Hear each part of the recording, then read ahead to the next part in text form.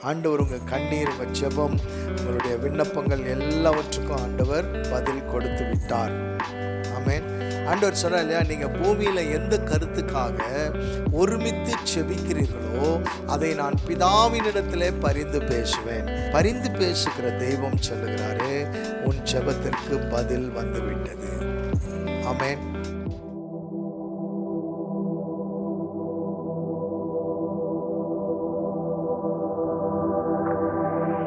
கடவுள் எதிர்பார்க்கறது இது ரெண்டு காரியம் தாங்க ஒன்று அவரை அவரை புகழ்கிறது இன்னொன்று அவர் பாதத்தில் அமர்கிறது. அவர் பாதத்தில் அமர்ந்தவங்க யாருமே வெக்கப்பட்டு போனதே கிடையாது. அவர் பாதத்தில் அமர்ந்தவங்க யாருமே தோத்தது கிடையாது. ஆமேன். பிரைஸ்லாம் தோல்வி வருவது போல இருக்கும். ஆனால் அது தோல்வி கிடையாது. அந்த தோல்வியின் மத்தியிலையும் ஒரு ஜெயம் இருக்கும். ஒரு ஜெயம் இருக்கும். அந்த ஜெயத்தை கொடுக்குறவர் தான் நம்ம மத்தியில் இருக்கிறார். ஆமேன். பிரைஸ்லான் லூயா ஆண்டவர் இந்த நாளிலேயும் கூட ஒரு செய்தியை நமக்கு ஆண்டவர் கொடுத்திருக்கிறார். எப்படிப்பட்ட ஒரு செய்தி என்றால் கடவுளுடைய ஜெபம் ஆண்டவர் நம்ம நிறைய நேரங்களில் திறப்பில் நிற்கிறோம் இல்லையா? நிறைய நேரங்களில் நம்ம திறப்பில் நிற்கிறோம் சொல்கிறோம் திறப்பின் ஜெப வாசல் திறப்பில் நிற்கிறோம் திறப்பின் ஜெபம் திறப்பின் ஜெபம் அப்படின்னு சொல்கிறோம் இல்லையா? அப்போ வேதத்தில் இந்த திறப்பில் ஜெபித்தவர்கள் யார் என்பதை சற்று சிந்தித்து பார்த்தோமே என்றால் ஆண்டவருடைய ஆவியானவர் நமக்கு அநேக காரியங்களை கற்றுக் கொடுக்கிறவராக இருக்கிறார். ஆமேன். பிரைஸ்லான் அப்போ இங்கே வேதம் என்ன சொல்லுகிறது? எசேக்கியல் புத்தகம் இருபத்தி ரெண்டாவது அதிகாரம் முப்பதாவது வசனம். எனக்கும் எனக்கும் இந்த நாட்டு மக்களுக்கும் இடையே இந்த நாட்டு மக்களுக்கும் இடையே ஒரு சுவரை எழுப்பி ஒரு சுவரை எழுப்பி அதன் மூலம் அதன் மூலம் நான் இந்நாட்டு மக்களை இந்நாட்டு மக்களை அழிக்காதபடி அழிக்க நல்ல கவனம் இந்த நாட்டு மக்களை அழிக்காதபடி தடுப்பவன் ஒருவனை தடுப்பவன் தடுப்பவன் ஒருவனை அவர்களிடையே தேடினேன். அவர்களிலே தேடினேன். ஆயினும் ஆயினும் யாரும் கிட்டவில்லை. யாருமே கிட்டவில்லை. ஆண்டவர் பாருங்க இந்த நாளில் எதிர்பார்க்கிறது திறப்பிலே நின்று செபிக்கிறவர்களை ஆண்டவர் தேடுகிறார். இன்னைக்கு உலகத்தில் நிறைய கிறிஸ்தவர்கள் இருக்கிறாங்க. நிறைய சபைகள் இருக்கிறது.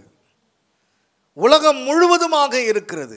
ஆனால் செபிக்கிறவர்கள் எத்தனை பேர் என்று எதிர்பார்த்தோன்னு சொன்னால் சொற்பமானவர்கள் தான் இருப்பாங்க. ஆமே பிரைஸ்லான் அப்போது சபையே கூடி செபித்தா எப்படி இருக்கும்? சபையே கூடி ஜெபித்த எப்படி இருக்கும்? பேதுரு சிறைச்சாலையில் இருந்தார் சபையார் ஜெபித்தார்கள். அமேன் ஆனா இந்த வசனம் என்ன சொல்லுகிறது என்றால் மீண்டுமாக அந்த வசனத்தை வாசிங்க. எனக்கும் எனக்கும் இந்த நாட்டு மக்களுக்கும் இடையே இந்த நாட்டு மக்களுக்கும் இடையே ஒரு சுவரை எழுப்பி ஒரு சுவரை எழுப்பி அதன் மூலம் அதன் மூலம் நான் இந்நாட்டு மக்களை நான் இந்த நாட்டு மக்களை அழிக்காதபடி அழிக்காதபடிக்கு நல்லா கவனிச்சுங்க அழிக்காதபடிக்கு தடுப்பவன் ஒருவனை தடுப்பவன். அதுதான் இன்னைக்கு நம்ம செஞ்ச ஜெபம் ஆமென். பிரைஸ் ஆண்டவரே இந்த பதினாறாம் தேதியே கொடுத்துட்டீங்க.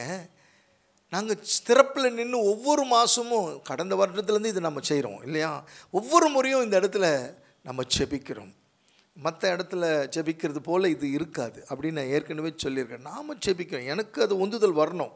சொல்லி சொல்லி ஜெபிக்கிறது வேறு. எனக்கு ஆவியானவர் உணர்த்தி ஜெபிக்கிறது வேறு. ஆமேன்.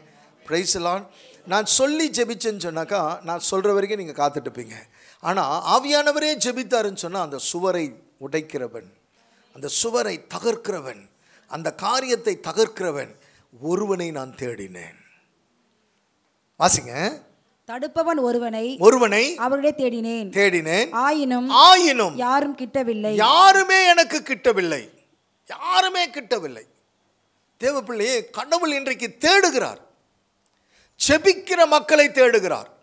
அதான் இன்றைக்கு இந்த திறப்பில் நிற்பது என்ன அப்படின்னு சொல்லி பார்க்கும்பொழுது திறப்பில் என்றால் உழைப்பு என்று பொருள். ஆமேன். ரெண்டாவது இந்த திறப்பு என்றால் உடைப்பு என்பது பொருள். உடைக்கிற ஒரு அனுபவம். நான் திறப்பில் நின்று எனக்கு முன்னாடி இருக்கிற சுவரை நான் உடைக்கிறேன். ஆமேன். எனக்கு முன்னாடி இருக்கிறத நான் தகர்க்கிறேன். எனக்கு முன்னாடி இருக்கிற தடைகளை உடைக்கிறேன். எனக்கு முன்னாடி இருக்கிற காரியத்தை நான் உடைக்கிறேன். இதுதான் ஜெபம். நம்ம முட்டி போடுறோம் அப்படின்னு சொன்னாக்கா நம்ம அந்த தடையை உடைக்கிறவர்களாகத்தான் முட்டி போடுறோம். ஆமேன். ஒரு பாறையை உடைப்பதற்கு எப்படி அந்த பொருட்களை வைத்து உடைக்கிறாங்களோ என்னது வெடிமருந்துகளை வைத்து உடைக்கிறாங்களோ அதே போல தான் நம்முடைய செபமும் ஒரு வெடிமருந்து போல. ஆமேன். ப்ரைஸ் லாட் அப்போ நம்ம செபிக்க செபிக்க செபிக்க ஆண்டவர் அதை உடைக்கிறவராய் இருக்கிறார் அப்போ உடைப்பு என்பது திறப்பில் நிற்கிற ஒரு ஜெபத்திற்கு ஒரு அடையாளமாக இருக்கிறது. வேதம் சொல்லுகிறது எசைக்கேல் பதிமூன்றாவது அதிகாரம் ஐந்தாவது வசனம் என்ன சொல்கிறது? ஆண்டவரின் நாளில் நிகழவிருக்கும் போரில் ஆண்டவரின் நாளில் நிகழவிருக்கும் போரில் இஸ்ரேவேல் வீட்டார் நிலைத்து நிற்பதற்காக. நீங்கள் அவர்களை சுற்றியுள்ள மதிலின் உடைப்புகளுக்குள் ஏறி சென்றதும் இல்லை. அவற்றை பழுது பார்த்ததும் இல்லை. அவர் சொல்கிற அந்த வார்த்தையை பாருங்கள் அந்த இடத்துல கூடிய ஒரு காரியம் நடக்குது. அந்த அந்த காரியத்திற்காக நீங்கள் பழுது பார்க்கவில்லை. நம்ம எந்த ஒரு காரியத்துக்கும் செபிக்கலன்னு சொன்னால் கடவுளுக்கு எனக்கும் என்ன தொடர்பு இருக்கிறது? ஆமென். அப்போ என்னை அவர் எப்படி அறிந்து கொள்வார்? இந்த பூமியில் நம்ம நிறைய நேரங்களில் நம்ம வாழ்கிறோம். நிறைய சூழ்நிலைகள் நமக்கு இருக்கிறது. ஆனால் கடவுளோடு கூட ஒன்றித்து இருக்கக்கூடிய அந்த அனுபவங்களை இங்கே ஆண்டவர் நமக்கு சுட்டி காண்பிக்கிறார் வசனம் பத்துல இருந்து பதினான்கு வரைக்கும். ஏனெனில் ஏனெனில் இவர்கள் இவர்கள் நல்வாழ்வு இல்லாதிருந்தும் நல்வாழ்வு இல்லாதிருந்தும் நல்வாழ்வு உள்ளது. நல்வாழ்வு உள்ளது. என சொல்லி என சொல்லி என் மக்களை என் மக்களை வழி தவற வழி செய்தார்கள் தவற செய்கிறாங்க. நல்ல கவனமா கேளுங்க. இன்னைக்கு நிறைய நேரங்கள்ல நீங்க உங்களுக்கு எல்லாமே நல்லதானே இருக்கு என்று சொல்லி வழி தவற செய்கிறவர்கள் ஏராளம் பேர் இருக்கிறார்கள். ஆனா வசனம் என்ன சொல்லுது? மக்கள் மக்கள் எல்லை சுவர் எழுப்பிய போது ஆமென். இவர்கள் அதற்கு சுண்ணாம்பு பூசினார்கள். சுண்ணாம்பு பூசுகிறவர்களிடம் சொல். சொல். அது விழுந்து விடும் சுண்ணாம்பு பூசுகிறவரிடத்துல சொல் அது விழுந்து விடும் அடைமழை பெய்யும். அடைமழை பெய்யும். ஆலங்கட்டிகள் விழும். ஆலங்கட்டிகள் விழும். புயற்காற்று சீறி எழும். சுவர் விழும்போது. நீங்கள் பூசிய சுண்ணாம்பு எங்கே? எங்கே? என்று உங்களை கேட்க மாட்டார்களா? எங்கே என்று கேட்க மாட்டார்களா? தேவ பிள்ளையை நல்லா சிந்திச்சு பாரு. இந்த இடத்துல என்ன சொல்றார்? ஆண்டவர் சொல்ல வராருன்னு சொன்னா சாரமில்லாத ஜெபம் ஏனோ தானோ என்று செய்கிற ஜெபம் அதனால தான் இயேசு கிறிஸ்து அழகாக சொல்வார் கற்பாறையின் மீது கட்டப்பட்ட வீடு எத்தனை புயல் காற்று அடித்தாலும் கீழே விழாது. மணல் மேல் கட்டின வீடு அடிக்கிற காற்று கீழே விழுந்து விடும். அப்போ இங்கே சொல்கிற அந்த வார்த்தையினுடைய சொற்றொடரை சற்று சிந்தித்து பார்த்தீர்கள் என்றால் சாரமில்லாத ஜெபம். இப்படியே நம்ம சாரமில்லாத ஜெபம் தான் ஜெபிச்சுட்டு இருக்கிறோம். ஆமேன். எத்தனை பேர் ஆமென் சாரமில்லாத ஜெபம். பரிசுத்த ஆவியானவரோடு இணைந்து ஜெபிக்கிற ஜெபம். அதனால தான் சொல்வார் எண்ணிலடங்கா பெருமூச்சுகளோடு கூட ஆவியானவர் ஜெபிக்கிறார். இதுதான் யூதா புத்தகத்தில் இருபதாவது வசனம். அன்பானவர்களே தூய்மை மிகு விசுவாசத்தை அடிப்படையாக கொண்டு உங்கள் வாழ்வை கட்டி எழுப்புங்கள். தூய ஆவியின் துணையுடன் வேண்டுதல் செய்யுங்கள். அப்போ பரிசுத்த ஆவியானவருக்குள்ளாக நான் நிறைந்து செபிக்கிற செபம்தான் அது எப்படிப்பட்டதாக இருக்கு? ஆமென். அதுதான் சாரமுள்ளதாக இருக்கிறது. சாரமுள்ளதாக இருக்கு. இப்போ மறுபடியும் வாசிங்க. எஸ்ஐக்கல் பதிமூணாவது அதிகாரத்தில் பன்னெண்டு பதிமூணு பதினாலு. சுவர் விழும்பொழுது நீங்கள் பூசிய சுண்ணாம்பு எங்கே? என்று உங்களை கேட்க மாட்டார்களா? ஆகவே தலைவராகிய ஆண்டவர் இவ்வாறு கூறுகிறார் நான் சீற்றமுற புயல் காற்று சீரியலும் நான் சிரமுற அடைமழை பெய்யும். நான் கோபமுற ஆழங்கட்டிகள் விழும். சுவரும் அழிந்து விடும். என் அன்பு தேவ பிள்ளைய அப்போ கடவுளுடைய கோபம் இறங்கி வந்தாலும் ஆலங்கட்டிகள் விழுந்தாலும் நான் சுவரை அடைத்து செபிக்கிற செப வீரனாக நான் மாற வேண்டும். ஆமே செப வீரனாக என் அன்பு தேவ பிள்ளை இன்றைக்கு நம்முடைய செபம் எப்படி இருக்கிறது? நம்முடைய துதி எப்படி இருக்கிறது? என் ஜனங்களோ உதட்டளவிலே துதிக்கிறார்கள் உள்ளத்திலேயோ வெகு தூரத்தில் இருக்கிறார்கள். உதட்டளவில் துதிக்கிற சத்தம் தான் இன்னைக்கு நிறையா இருக்குது உள்ளத்திலேருந்து செபிக்கிற செபம் உள்ளத்தின் ஆழத்திலேருந்து துதிக்கிற துதி உள்ளத்தின் ஆழத்திலிருந்து கடவுளோடு கூட சஞ்சரிக்கிற அந்த அனுபவம் நான் பேச அவர் கேட்க அதுவே செப நேரம் என்று சொல்லுகிறார். ஆமே பிரைஸ்லான் என் அன்பு தேவ பிள்ளையே இன்றைக்கு சாரமற்ற ஜெபம். இந்த ஜெபம் போதும். நீ அமைதியெல்லாம் ஜெபித்தா போதும். சத்தம் போட்டு ஒன்றும் ஜெபிக்கணும்னு அவசியம் இல்லை. ஆண்டவர் சொல்றா பண்டிகை நாளில் உரத்த சத்தத்தோடு கூட தாகமாக இருக்கிறவன் என்னிடத்தில் வரக்கடவன். ஆண்டவர் நினச்சா மொல்லமாக சொல்லியிருக்கலாம்ல அமைதியில் சொல்லியிருக்கலாமே. ஏன் அவர் அது- அப்படி ஒரு சத்தத்தோடு கூட உரத்த சத்தத்தோடு கூட? என் அன்பு தேவச்சனமே நம்முடைய ஜெபம் இன்றைக்கு நம்ம ஜெபம் சாரம் இல்லாத ஜெபம் தான் உங்களுக்கே நல்லா தெரியும். நம்ம செய்கிற ஜெபம் எப்படி இருக்குது அதில் சாரம் இல்லை பிரச்சனைகள் வரும் ஆலங்கட்டிகள் வரும் ஆண்டவருடைய கோபம் வரும் ஆண்டவருடைய சீற்றம் வரும் அந்த வரும் பொழுது அவைகள் நிற்காது. ஆமே பிரைசலான் அப்போ என்ன கேட்பாங்க? மற்றவர்கள் கேட்பாங்க என்ன இப்படி ஜெபம் பண்ணீங்களே? என்னாச்சு? நீங்கள் இப்படி ஜெபிக்கிறவர்களாக இருந்தீங்களே? உங்கள் ஜெபம் இப்படி விழுந்து போச்சே? அப்படின்னு நம்மளை பல பேர் கேட்பார்கள். ஆமே பிரைசலான் என்ன நடந்தாலும் சரி. இது என்ன சொல்லுது? இந்த வசனம் நமக்கு என்ன காண்பிக்கிறதுன்னு சொன்னால் என்ன நடந்தாலும் யார் கைவிட்டாலும் எப்படிப்பட்ட போராட்டங்கள் என் வாழ்க்கையில் வந்தாலும் நான் சுவரை அட உடைக்கிற செபம் திறப்பில் நிற்பேன். ஆமேன். நம்ம திறப்பில் நிற்கிறவர்கள். இதுதான் திறப்பின் அனுபவம். இதான் திறப்பின் அனுபவம். வேதம் என்ன சொல்லுகிறது? திருப்பாடல் நூற்றி ஆறு இருபத்தி மூணுல மோசே திறப்பில் போய் நின்றான். திருப்பாடல் நூற்றி ஆறு இருபத்தி மூன்று ஆகையால் அவர்களை அவர்களை அவர் அழித்து விடுவதற்கா விடுவதாக கூறினார். கூறினார். ஆனால் ஆனால் அவரால் அவரால் தேர்ந்து கொள்ளப்பட்ட தேர்ந்து கொள்ளப்பட்ட மோசே மோசே அவர் முன் உடைமதில் காவலர் போல் நின்று. எப்படி நிற்கிறார் பார்த்தீங்கன்னா? உடை மதில் காவலரை போல் நின்றார். அப்படின்னா என்ன அர்த்தம்? மோசே திறப்பில் நின்றார். உடை மதில் காவலரை போல் நிற்கிறார். அதே போல தொடக்க நூல் பதினெட்டாவது அதிகாரம் இருபது இருபத்தி ரெண்டு ஆதலால் ஆதலால் ஆண்டவர் ஆண்டவர் ஆபிரகாமை நோக்கி ஆபிரகாமை நோக்கி சோதோம் குமராவுக்கு. எதிராக எதிராக பெருங்கண்டன குரல் எழும்பியுள்ளது. பெரும் கண்டன குரல் எழுப்பியுள்ளது. அவற்றின் பாவம் அவற்றின் பாவம் மிகவும் கொடியது. மிகவும் கொடியது. என்னை வந்தடைந்த என்னை வந்தடைந்த கண்டன குரலின்படி கண்டன குரலின்படி அவர்கள் நடந்து கொண்டார்களா? கடந்து கொண்டார்களா? இல்லையா என்று. அறிந்து கொள்ள நான் இறங்கி சென்று பார்ப்பேன். தேவ பிள்ளையே தெய்வமே சொல்ல நான் இறங்கி சென்று பார்ப்பேன். அப்பொழுது அப்பொழுது அந்த மனிதர்கள் அந்த மனிதர்கள் அவ்விடத்தை விட்டு சோதோமை நோக்கி சென்றார்கள். சோதோமை நோக்கி சென்றார்கள். தேவ பிள்ளையே கூக்குரல் மேலே கேட்கிறது.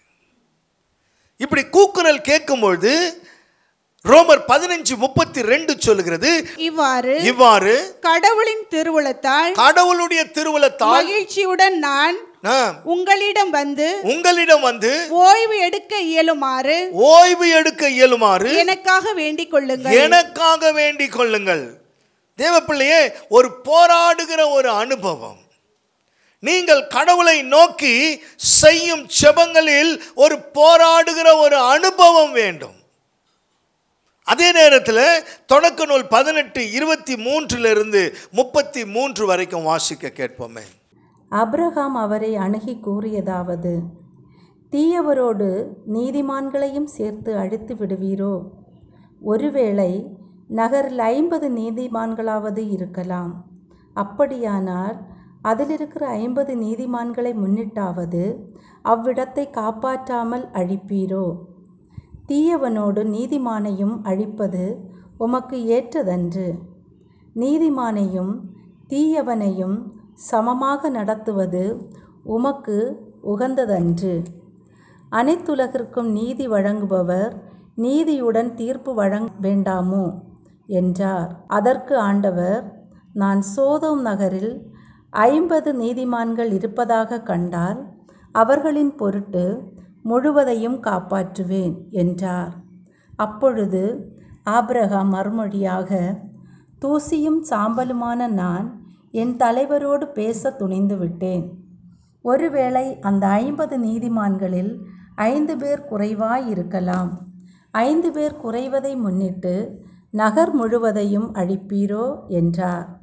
அதற்கு அவர் நான் நாற்பத்தைந்து பேரை அங்கே கண்டால் அழிக்க மாட்டேன் என்றார்.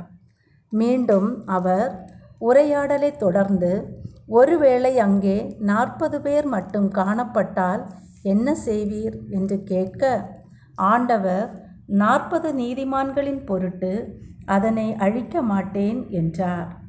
அப்பொழுது அப்ரஹாம் என் தலைவரே நான் இன்னும் பேச வேண்டும் சினமடைய வேண்டாம்.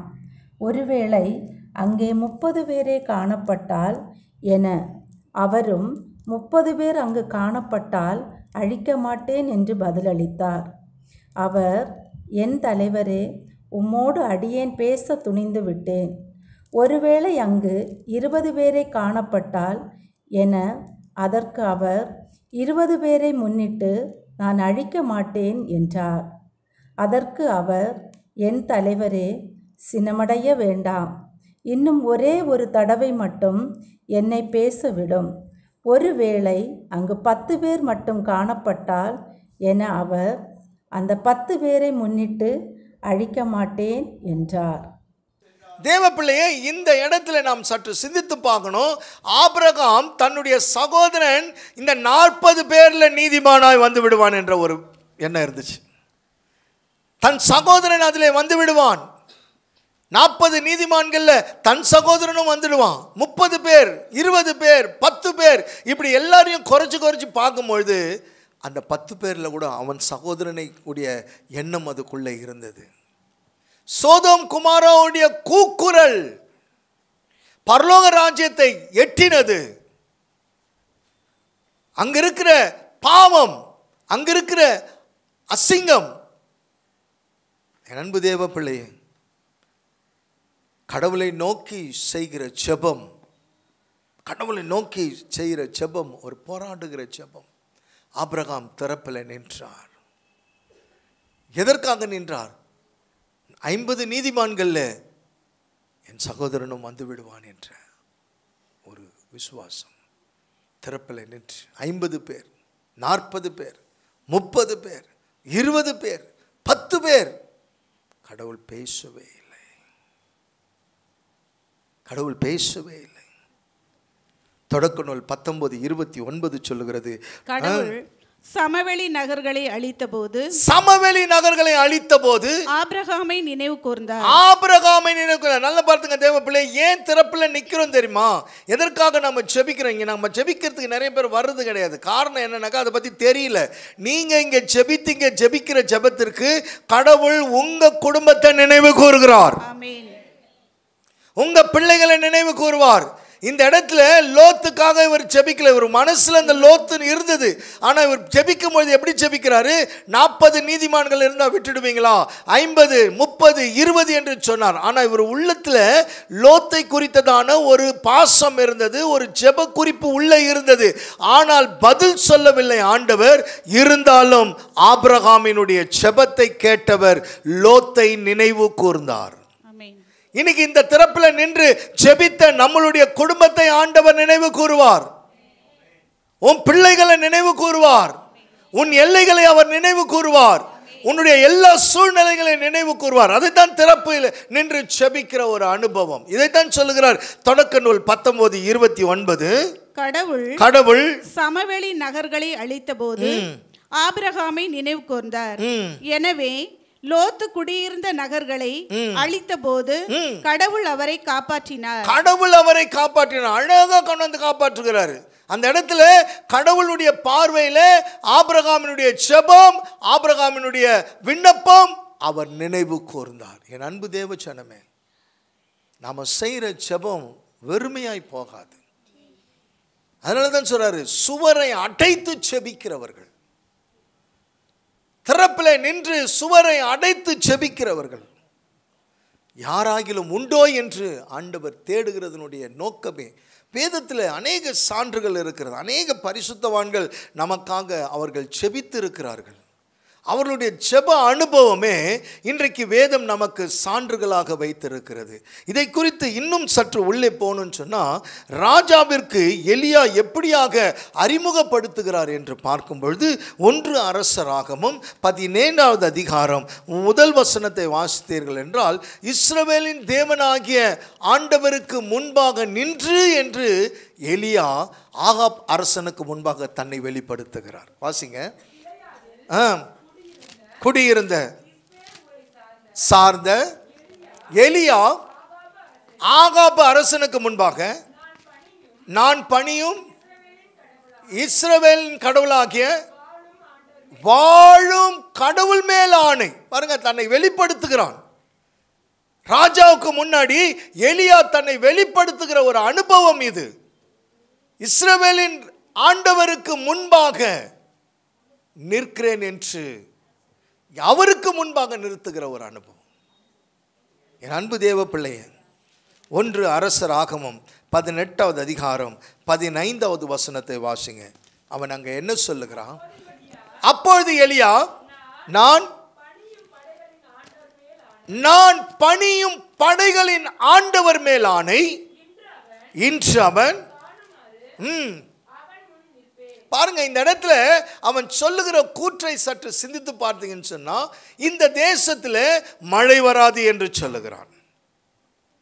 மூன்று வருஷம் ஆறு மாதம் மழையே வராது என்று சொல்லுகிறான். அப்படி சொல்லப்பட்ட பிறகு தேசத்திலே மழை வரவில்லை. பின்பு இந்த பதினைந்தாவது வசனம் சொல்லுகிறது அப்பொழுது எலியா நான் பணியும் படைகளின் ஆண்டவர் மேல் ஆணை. நான் பணியும் படைகளின் ஆண்டவர் மேல் ஆணை. இன்று அவன் இன்று அவன் காணுமாறு காணுமாறு அவன் முன் நிற்பேன். அவன் முன் நிற்பேன். அவர் முன் நிற்பேன் என்று சொல்கிறான் நாற்பத்தி ரெண்டாவது வசனம். ஆகாபு. ம். ம். ம். ம். ம். ஏறி சென்று தரையில் மண்டியிட்டு ம். ம். ம். ம் தன் பணியாளனை நோக்கி நீ போய் கடற்பர்க்கமாய் உட்காரு என்றான். ம். ஒன்றுமில்லை என்றான். தேவப்பிள்ளையே இங்கே நல்ல பாருங்க. மழை வர வேண்டும். இந்த மலையின் மேலே முழந்தால் படியிட்டு அவன் தலை நெற்றியில் தலையில் பற அவன் முகம் குப்புற அவன் செபிக்கிறான். தன்னுடைய வேலைக்காரனை பார்த்து சொல்கிறான் நீ போய் மழை வருகிறதா? என்று போய் பார்த்து விட்டுவான் அவன் போய் பார்த்துவிட்டு வருகிற வரையிலையும் இவனுடைய முழங்கால்கள் அப்படியே முடங்கி இருக்கிறது செபித்து கொண்டிருக்கிறான். ஒரு முறை அல்ல இரண்டு முறை அல்ல ஏழு முறை அவன் போய்விட்டு வரும் பொழுது அந்த ஏழு முறையும் அவன் முழந்தால் படியிட்டு செபித்து கொண்டிருந்தான். அவனை நோக்கி ஏழு முறை மீண்டும் சென்று பார் என்றான். ஏழாம் முறை அவன் சென்று பார்த்து இதோ பாருங்க உள்ளங்கை அளவு சிறிய மேகத்தை கண்டேன். உள்ளங்கை அளவு சிறிய மேகத்தை கண்டேன். அப்போ இந்த மேகத்தை கண்ட மாத்திரத்திலே அவனுடைய செபத்திற்கு பதில் வந்து விட்டது தேவப்பிள்ளையே அந்த மேகத்தை பார்த்துவிட்டு சொல்லுகிறான் ஆகாப் அரசனிடத்தில் நாம் பெரும் இரைச்சலை கேட்கிறேன் ரதத்தை பூட்டி கொண்டு போய் என்று சொல்லுகிறான். நீ போய் நீ போய் ஆகாபிடம் ஆகாபிடம் மழை தடுத்து நிறுத்தாதபடி மழையை தடுத்து நிறுத்தாதபடி தேரை பூட்டி போய் தேரை பூட்டி போய் விடும்படி சொல். தேரை பூட்டி போய் விடும்படி சொல் என்றார். என்றார். இதற்கிடையில். வானம் இருண்டது. வானம் இருண்டது. கார்மேகம் சூழ்ந்தது. கார்மேகம் சூழ்ந்தது. காற்று அடித்தது. காற்று அடித்தது. பெருமழை பெருமழை பொழிந்தது. ஆகாபு ஆகாபு தேரில் ஏறி தேரிலேறி இஸ்ரேலுக்கு சென்றான். Praise Lord. தேவ பிள்ளையே இங்க பாருங்க. ஒரு மழை வராது என்று இஸ்ரவேலின் கடவுளை முன்னி முன்னிறுத்தி ஆகாப் அரசனுக்கு முன்பாக இவன் சொன்னது நிமித்தமாக மூன்று வருஷம் ஆறு மாதம் மழையே பெய்யல. அப்படிப்பட்ட ஒரு சூழ்நிலையில் மீண்டும் ரா- அ- அரசனுக்கு முன்பாக தன்னை வெளிப்படுத்தி ஆண்டவரை முன்னிறுத்தி அவன் செபிக்கிறான். அந்த செபித்தின் நிமித்தமாக ஒரு முறை செபிக்கல பதில் வருகிற வரையிலையும். இன்னைக்கு நாம் எப்படி செபிக்கிறோம்? இன்னைக்கு ஜெபம் பண்ணிவிட்டு அதோடு போயிடுவோம். ஆமேன். இன்னைக்கு ஜெபம் பண்ணிட்டு அப்படி போயிடுறோம். பதில் வருகிற வரையிலையும். ஆண்டவரை நீங்கள் செய்யுங்க. யாக்கோபை போல போராடணும். எலியாவை போல ஜெபம் பண்ணணும். ஆமென். யாக்கோபை போல போராடணும். எலியாவை போல ஜெபம் பண்ணணும். பாருங்க கொஞ்சம் இந்த வசனத்தில் கை வச்சுக்கிட்டு யாக்கோபு புத்தகம் ஐந்தாவது அதிகாரத்தில் பதினேழாவது வசனத்தை எடுத்து வாசித்து பாருங்க. எலியா ம். நம்மை போன்ற எலியா நம்மை போன்ற எளிமையான மனிதர்தாம். எளிமையான ஒரு மனிதர் தான் அவர் அவர் மழை பெய்ய கூடாது என்று பாருங்க மழை பெய்ய கூடாது என்று உருக்கமாக உருக்கமாக இறைவனிடம் வேண்டினார். வேண்டினான். மூன்று ஆண்டு மூன்று ஆண்டு ஆறு மாதம் ஆறு மாதம் மழை இல்லாது மழை இல்லாமல் போனது. மீண்டும் அவர் மீண்டும் அவர் இறைவனிடம் வேண்டினார். இறைவனிடம் வேண்டினார். வானம் பொழிந்தது. வானம் பொழிந்தது. நிலம் விளைந்தது. நிலம் விளைந்தது. ஒரு அலையிலியா சொல்லுவோமா? முதல்ல ஜெபிக்கிறான் மழையை வரக்கூடாதுன்னு சொல்லிட்டு. ரெண்டாவது அவன் ஜெபிக்கிறான் மழை வரும்படியாக. என் அன்பு தேவ பிள்ளையே இப்போ நம்முடைய செபம் எப்படி இருக்கிறது? இன்றைக்கி நிறைய நேரத்தில் சொல்கிறோம் செபிங்க செபிங்க செபிங்க. ஜெபம் என்றால் என்ன? அதுக்கு தான் இது பதில். ஆமென். நம்ம செய்கிறோம் போராடி ஜெபிக்கிறோம் ஒவ்வொரு முறையும் ஆண்டவர் சமூகத்தில் நீங்கள் போராடி செபிச்சு பாருங்கள் நிச்சயம் பதில் வரும். நிச்சயம் பதில் வரும். ஆண்டவர் அதை நிச்சயமாக கொடுக்கிறவராக இருக்கிறார். உலகத்தில் வாழ்ந்த அத்தனை பரிசுத்தவான்களுடைய வாழ்க்கையினுடைய அடிச்சுவடுகளையும் நீங்கள் திரும்பி பார்க்கலாம். அத்தனை பேரினுடைய வாழ்க்கையிலையும் இந்த ஜெபம் என்பது ஒரு பிரதானமாக இருந்தது. அந்த பிரதானமான ஜெபத்தில் என்ன கிடைக்குது? பதில் கிடைக்கிறது. இன்னைக்கு லேட் ஆகலாம். காலம் தாமதமானாலும் அவர் கரெக்டான நேரத்தில் அவர் பதில் கொடுக்கிறவராக இருக்கிறார். காலம் தாமதமாகுதேன்னு சொல்லி நம்ம சோர்ந்து போகக்கூடாது. காலம் தாமதமாகுதேன்ற நிலையில் பாருங்க ஏழு முறை பக்கத்தில் எல்லாம் போய் பார்த்துட்டு வர்றதுக்கு மலையிலேருந்து இறங்கி போய் இறங்கி போய் பார்க்கணும். அந்த ஏழு முறையும் இவனுடைய செபம் எப்படி இருந்தது? அந்த ஏழு முறையும் இவனுடைய செபம் விடவே இல்லை. கருத்தாய் செபித்தான் என்று வேதம் சொல்லுகிறது. எலியா கருத்தாய் செபித்தான். நம்ம செய்கிற செபத்தில் ஒரு கருத்து இருக்கணும். அதுதான் இங்கே வேதம் சொல்லுகிறது. ஒன்று யோவான் ரெண்டாவது அதிகாரம் முதல் வசனம் என் பிள்ளைகளே என் பிள்ளைகளே. நீங்கள் பாவம் செய்யாதிருக்க வேண்டும் என இதை நான் உங்களுக்கு எழுதுகிறேன். எழுதுகிறேன். ஆயினும் ஆயினும் ஒருவர் ஒருவர் பாவம் செய்ய நேர்ந்தால் தந்தையிடம் பரிந்து பேசுபவர் ஒருவர் நமக்கு இருக்கிறார். பாத்துங்க பாவம் செய்தால் தந்தையிடத்தில் பரிந்து பேசுகிறார். அப்படின்னு சொன்னா இயேசுவும் நமக்காக அவர் பரிந்து பேசுகிறவராய் இருக்கிறார். இதை தான் லூக்கா நற்செய்தி பதிமூன்றாவது அதிகாரம் ஆறிலிருந்து ஒன்பது வரைக்கும் நீங்க வாசித்து பார்த்தீங்கன்னா ஆண்டவர் ஒரு ஓமையை சொல்கிறார் திராட்சை தோட்டத்தினுடைய ஓமையை. வாசிங்க. மேலும் மேலும். இயேசு இயேசு. இந்த ஊமையை கூறினார். இப்படிப்பட்ட ஒரு ஓமையை சொல்றாரு. ஒருவர் ஒருவர் தாம் திராட்சை தோட்டத்தில் அத்திமரம் ஒன்றை நட்டு வைத்திருந்தார். அவர் வந்து அதில் கனியை தேடிய போது கேடிய போது எதையும் காணவில்லை. எதையும் காணவில்லை. எனவே எனவே அவர் தோட்ட தொழிலாளரிடம் பாரும். பாரும். மூன்று ஆண்டுகளாக மூன்று ஆண்டுகளாக. இந்த அத்தி மரத்தில். கனியை தேடி வருகிறேன். ஆமென். எதையும் காணவில்லை. எதையுமே காணவில்லை. ஆகவே ஆகவே இதை வெட்டிவிடும். இதை வெட்டிவிடும். இடத்தை ஏன் அடைத்துக் கொண்டிருக்க இது வேண்டும்? ஏன் இடத்தை அடைச்சுக்கிட்டே இருக்கு? என்றார். என்றார். தொழிலாளர் மறுமொழியாக மறுமொழியாக. ஐயா ஐயா. இந்த ஆண்டும். இதை விட்டு வையும். நான் இதை சுற்றிலும் கொத்தி எரு போடுவேன். அடுத்த ஆண்டு கனி கொடுத்தால் சரி இல்லையானால்? இதை வெட்டிவிடலாம் என்று அவர் கூறினார். அப்போ இந்த வேலைக்காரன் சொல்ற அந்த வார்த்தை என்னன்னா இந்த முறை எனக்கு டைம் கொடுங்க. இதை நான் மறுபடியும் கொத்தி மறுபடியும் க்ளீன் பண்ணி நீங்கள் வரும்பொழுது அடுத்த முறை கனி வருகிற மாதிரி. அப்படின்னா என்ன அர்த்தம்? கடவுள் எதிர்பார்க்கிறார். நாம தான். எனக்கு நம்மக்கிட்ட தான் எதிர்பார்க்குறார். அவர் வந்து பார்க்கும் பொழுது அங்கே கனி இருக்கணும். ஜெப வாழ்க்கை இருக்கணும். ஜெப தூபம் நமக்குள்ளாக இருக்கணும். ஆண்டவர் பார்க்குறார். எப்பெல்லாம் ஆண்டவர் வந்து பார்க்கும் பொழுது அங்கே ஒரு செப அனுபவம் இருக்கணும். வேலைக்காரனிடத்தில் வந்து கேட்குறாரு இன்னும் மரத்தில் பழம் இல்லை. மரத்தில் பழம் இல்லை. அவன் சொல்கிறான் மீண்டுமாக அதை கொத்தி பண்படுத்தி அடுத்த முறை நீங்கள் வந்து பார்க்கும் பொழுது அதை நான் கொடுக்கிறேன். இந்த வேலைக்காரன் என்பது எதை குறிக்கிறது என்றால் ஊழியக்காரனை குறிக்கிறது. அத்திமரம் நீங்கள் தான்.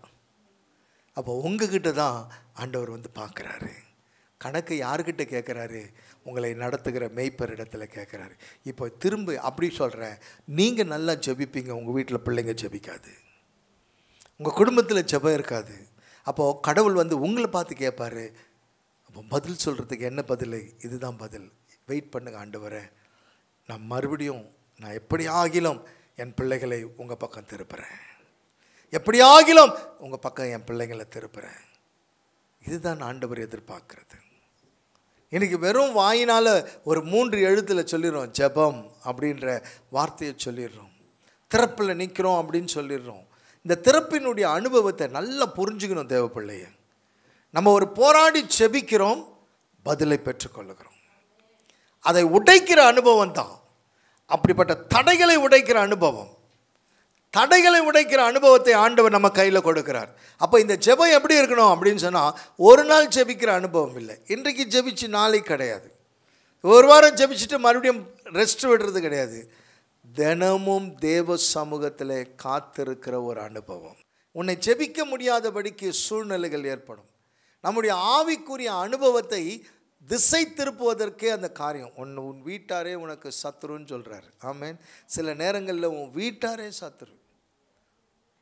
உன் பிள்ளைங்க மூலயமா தடை வரும் உன் கணவர் மூலயமா தடை வரும் உன் பெற்றோர் மூலயமா தடை வரும் யார் மூலயமாவது நமக்கு தடை வந்துக்கிட்டே இருக்கும். ஆமேன். அவனுடைய வேலை நம்மளை டிஸ்டர்ப் பண்ணுறது தான் ஆனால் நாம் எங்கே நிற்கிறோம் ஆமேன். ஆலங்கட்டி மழை வந்தாலும் சரி புயல் காற்று வந்தாலும் சரி தேவ கோபம் இறங்கினாலும் சரி சுவரை அடைத்து நிற்கிற ஒரு அனுபவத்தை எனக்கு அவர் கொடுத்திருக்கிறார். இந்த அனுபவத்துக்குள்ளே நாம் செபிக்கிறோம். இதை தான் விடுதலை பயணம் முப்பத்தி ரெண்டாவது அதிகாரம் ஒன்பதிலிருந்து பதினான்கு வரைக்கும் வாசித்து பார்த்தீங்கன்னா மோசே ஜெபம் ஒரு திறப்பிலே நின்ற அனுபவத்தை அங்கே கொடுக்கிறது. மோசே அழகாக செபிக்கிறார். மேலும் ஆ. ஆண்டவர் மேலும் ஆண்டவர் மோசையிடம் மோசையிடம் இம்மக்களை எனக்கு தெரியும். பாருங்க மேலும் ஆண்டவரிடத்துல மோசே சொல்றாரு இந்த மக்களை எனக்கு நன்றாக தெரியும். வணங்கா கழுத்துள்ள மக்கள் வணங்கா கழுத்துள்ள மக்கள் தான் இப்போது இப்போது என்னை விட்டுவிடு. என்னை விட்டுவிடு. அவர்கள் மேல் என் கோபக்கணல் மூண்டிருப்பதால் நான் அவர்களை அழித்தொழிக்க போகிறேன். நான் அவர்களை அழித்தொழிய போகிறேன். உன்னையோ உன்னையும் பேரினமாக்குவேன் பாருங்க இங்க ஆண்டவர் சொல்ற ஒரு வார்த்தையை பாருங்க. இந்த மக்கள் எல்லாம் வணங்கா கழுத்துள்ள மக்கள் இவங்களை நான் அழிச்சிடுறேன். உனக்கு நான் வந்து உயர்வை கொடுக்கிறேன். உன்னை நான் பெரிய ஆளாக்கிடுறேன் இந்த மக்களுக்காக நீ ஒன்றும் பரிந்து பேச வேண்டாம். இந்த மக்களுக்காக நீ துறப்பில் நிற்க வேண்டாம். இந்த மக்கள் வணங்கா கழுத்துல இவங்க இப்படி தான் இருப்பாங்க. இவங்களை என்ன தான் கொண்டு போனாலும் அப்படி தான் வாழ்வாங்க. ஆமே இன்றைக்கி ஆண்டவர் அப்படி தான் நினைக்கிறார் பிரைஸ்லான் எவ்வளவு சத்தியம் கேட்டாலும் சரி எவ்வளவு சத்தியத்தை கேட்டாலும் சரி நாம் இன்னும் அங்கே தான் போய் உட்காந்துட்டு இருக்கிறோம். ஆமே பிரைஸ்லான் ஒரு பெரிய எஜமான காலையில் வாக்கிங் போகிறாரு வாக்கிங் போயிட்டுருக்கும் பொழுது ஒரு அழகான பன்னிக்குட்டி என்ன பண்ணுது? சேற்றில் சகதியில் பிறண்டுக்கிட்டு கிடக்குது.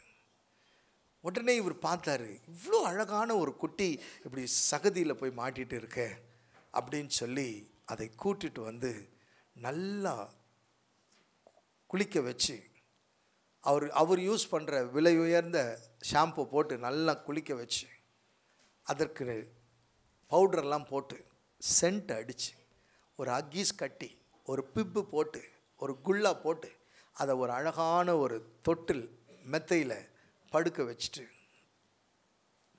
இவரும் அதுக்கு நேராக படுத்திருந்தார். காலையில் எழுந்து பார்த்தா பன்னி குட்டியை காணவில்லை. திரும்பவும் தேடிக்கிட்டு போகிற ஐயோ குட்டியை காணவே ஆனால் அது போய் அதே சேத்தில் தான் போய் விழுந்துட்டு இன்றைக்கு நம்மளுடைய நிலைமையும் அப்படித்தான். ஆண்டவரே என்னை கழுவும். ஆண்டவரே என்னை சுத்திகரியும். ஆண்டவரே நான் இனி பாவம் செய்ய மாட்டேன். நல்ல நல்ல அழகாக நமக்கு கற்றுக் கொடுத்துருக்காங்க ஒரு பாட்டு. நான் பாவியேசுவே எங்கே போனாலும் இந்த ஒப்பாரி இருக்கும். ஆமே பிரைஸ்லாம் என் வாழ்வை மாற்றுமே. இல்லையா? அப்படிதான் இருக்கிறோம். வெளியில் வர வரைக்கும் உள்ளே இருக்கிற வரைக்கும் அந்த பாட்டு இருக்கும். வெளியில் வந்துட்டோம் அப்படின்னு சொன்னாக்கா வாழ்வு மாறிடும். ஆமேன். பிரைஸ்லாம் தேவ பிள்ளையை சிந்தித்து பாரு. நம்மை ஆசிர்வதிக்கத்தான் அவர் விரும்புகிறார். நம்முடைய சத்தத்தை கேட்கத்தான் அவர் செவிகள் திறந்து இருக்கிறது ஆனால் இந்த இடத்துல இந்த மோசையினுடைய ஜெபம் ஒரு திறப்பில் நின்ற ஒரு அனுபவம் இந்த சடங்குகளுக்காக நின்று அவன் கதறுகிறான் ஆண்டவர்கிட்ட பேசுகிறான் ஆண்டவர் சொல்கிறாரு இவங்க வணங்கா கழுத்துள்ளவங்க. உன்னை நான் மேலே வச்சிடுறேன் ஆமென். இப்போ நீங்கள் அந்த இடத்துல மோச இடத்துல இருந்தால் என்ன சொல்லுவோம்? ஆண்டவரே எனக்கு இந்த மவுண்ட் ரோட்டே கொடுத்துருங்க ஆண்டவரே. அப்படி தானே கேட்போம். Okay okay. நீங்கள் சொல்லிட்டீங்க ஆண்டவரே ஃபைன் இனிமேல் உங்களுக்காக நான் ஜெபம் பண்ண மாட்டேன். அப்படின்னு நின்னாரா?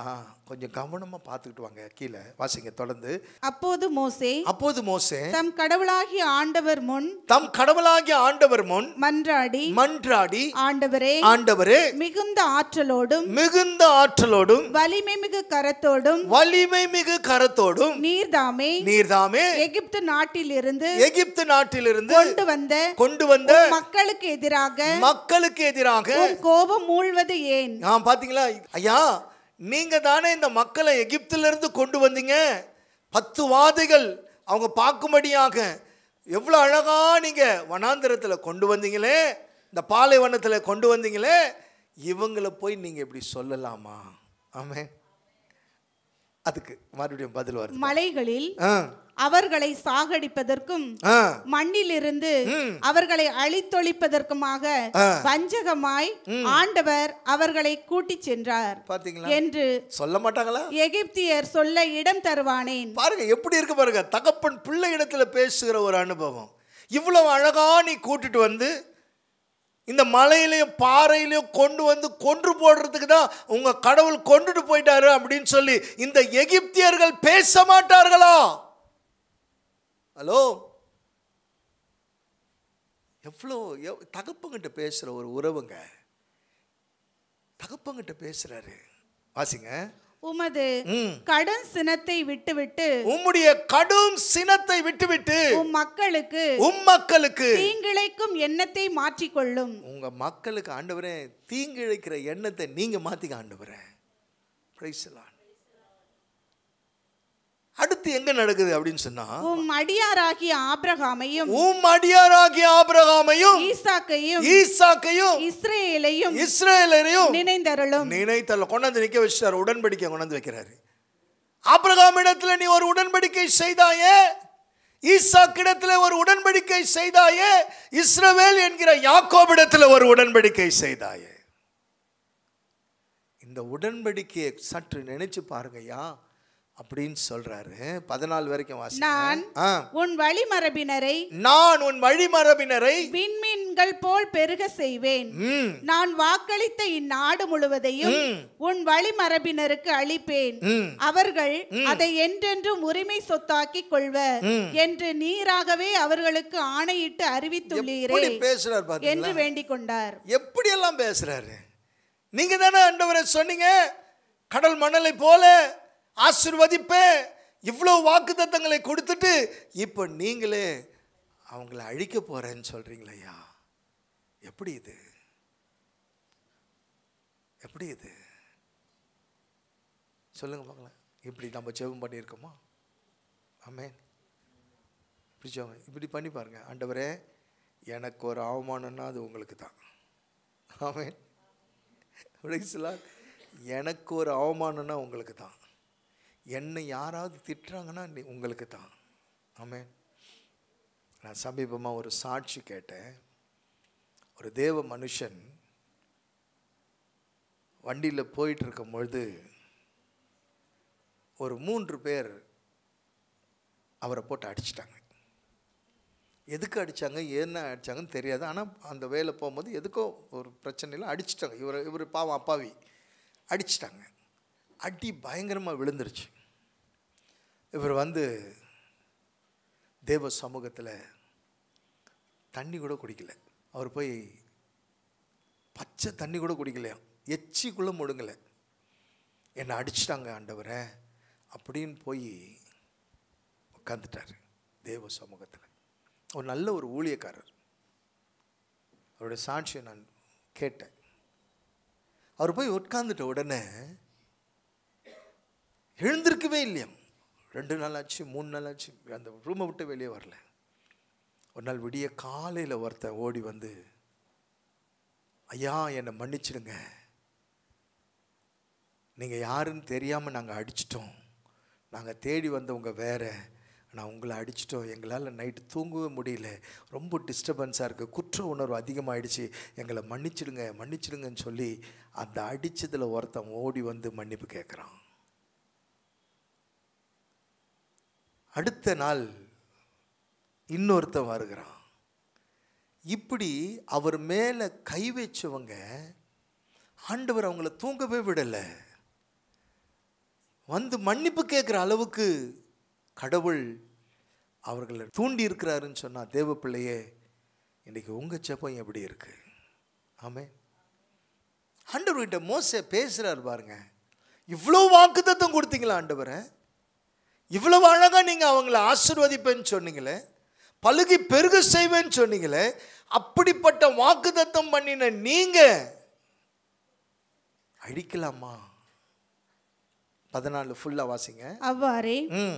ஆண்டவரும் தம் எண்ணத்தை மாற்றிக்கொண்டு தன் எண்ணத்தை மாற்றிக்கொண்டு தம் மக்களுக்கு செய்ய போவதாக அறிவித்த தீங்கை செய்யாது விட்டுவிட்டார் பிரைஸ் லார்ட் என்ன செய்யணும்னு அவருக்குள்ள ஒரு கோபம் இருந்ததோ அந்த கோபத்தை அடக்குகிற அந்த கோபத்தை தணிக்கிற ஒரு செபம் தாங்க திறப்புல நிற்கிறது ஆமே பிரைஸ் லார்ட் அந்த கோபத்தை தணிக்கிற ஒரு செபம். அதுதான் திறப்புல நிற்கிற ஒரு அனுபவம். இன்னொரு வசனத்தை நான் காமிச்சு கொடுக்குறேன். எண்ணிக்கை பதினான்காவது அதிகாரம் பதினொன்னுல இருந்து இருபது வரைக்கும் வாசிங்க. ஆண்டவர் ஆண்டவர் மோசையிடம் மோசையிடம் எதுவரை இம்மக்கள் என்னை இழிவுபடுத்துவார்கள். நான் அவர்களுக்கு அடையாளங்கள் தந்தும் எதுவரை இவர்கள் என்னில் நம்பிக்கை கொள்ளாதிருப்பார்கள். நான் அவர்களை கொள்ளை நோயால் வதைத்து அவர்களை புறக்கணித்து விடுவேன். உன்னையோ அவர்களை விட பெரியதும் வலியதுமான இனமாக்குவேன் என்றார்.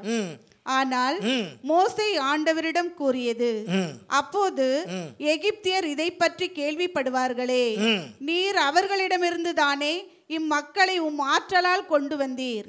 அதோடு இந்த நாட்டு குடிகளிடமும் அவர்கள் சொல்லி வைப்பார்கள். ஆண்டவரே நீர் இம்மக்களிடையே இருக்கிறீர் என்பதை அவர்கள் கேள்விப்பட்டு இருக்கிறார்கள். ஏனெனில் ஏனெனில் ஆண்டவரே ஆண்டவரே நீர் நேர்முகமாய் காணப்படுகிறீர். நீ நேர்முகமாய் காணப்படுகிறீர். உமது மேகம் உமது மேகம் அவர்கள் மேல் நிற்கிறது. பகலில் மேகத்தூணிலும் இரவில் நெருப்பு தூணிலும் நீர் அவர்களுக்கு முன்னே போகிறீர். நீர் இப்போது இம்மக்களை ஓர் ஆள் என கொன்றுவிட்டால் உம் புகழை கேள்விப்பட்டிருந்த இனத்தவரெல்லாம் ஆண்டவர் இம்மக்களுக்கு வாக்களித்த நாட்டுக்குள் அவர்களை கொண்டு வர இயலாததால் பாலை நிலத்தில் அவர்களை கொன்று போட்டார் என்று சொல்வார்களே. பாருங்க இந்த இடத்துல மோசேனுடைய உரையாடல் ரொம்ப அழகா இருக்கும். நீங்க இரவிலே அக்கினி தூணாக பகலிலே மேக ஸ்தம்பமாக இந்த மேக ஸ்தம்பம் அக்கி அக்னி தூணம் எதை குறிக்குதுன்னு சொன்னால் இந்த மேக ஸ்தம்பம் தேவ பிரசனத்தையும் இந்த அக்கினி தூண் வந்து வெளிச்சத்தையும் குறிக்கிறது. இப்படி பிரசனத்தினாலும் வெளிச்சத்தினாலும் இந்த மக்களை நீங்கள் வழி நடத்திக்கிட்டு வந்த நீங்களே அழிச்சிட்டா எப்படி இருக்கும்? இப்படி நீங்களே பாதுகாப்பு கொடுக்கலன்னா எப்படி இருக்கும்? இந்த மக்கள் எல்லாம் உங்களை பற்றி என்ன பேசுவாங்க? எகிப்து என்ன சொல்லும்? இப்படி இவங்க இவங்களுக்காகவே இவர் எப்பொழுதுமே திறப்பில் நின்று நின்று பேசுகிறார் முதல்ல பேசுகிறாரு ஆண்டவர் கோபம் தணிந்தது. ஆனால் இந்த மக்களும் மறுபடியும் மறுபடியும் ஆண்டவர் கோபம் வரும்படியான காரியத்தை செய்துக்கிட்டே இருந்தாங்க. அப்பொழுதெல்லாம் மோசே போய் நிற்கிறாரு. ஆமென். தவறு செஞ்சுக்கிட்டே இருந்தாலும் மோசை போய் நிற்கிறார். வாசிங்க. இப்போதும் இப்போதும் உம்மை மன்றாடி கேட்கிறேன். இப்பொழுது உம்மை நான் மன்றாடி கேட்கிறேன். நீர் வாக்களித்தபடி நீ வாக்களித்தபடி ஆண்டவர் ஆண்டவர் ஆற்றல் சிறப்புறுவதாக ஆண்டவர் சினம் கொள்ள தாமதிப்பவர். அருள் இரக்கம் காட்டுவதில்.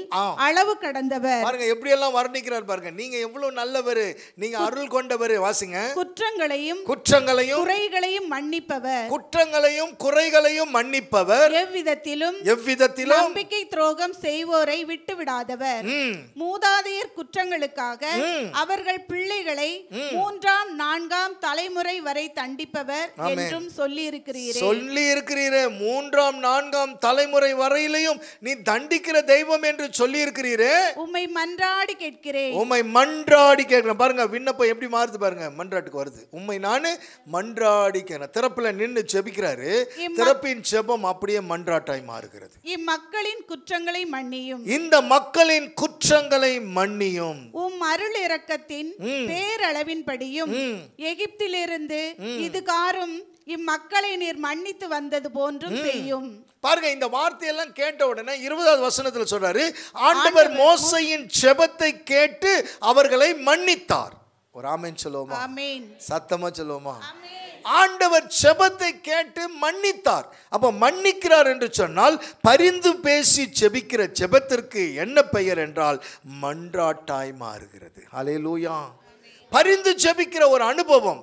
இந்த பரிந்து செபிக்கிற செபிக்கிற ஒரு அனுபவம் அது மன்றாட்டாக மாறிவிடுகிறது. தேவ பிள்ளையே இன்றைக்கு ஆண்டவர் சமூகத்தில் இப்படிப்பட்ட ஒரு செபத்தை தான் கடவுள் எதிர்பார்க்கிறார். கலங்காதே மகனே கலங்காதே மகளே கலங்கா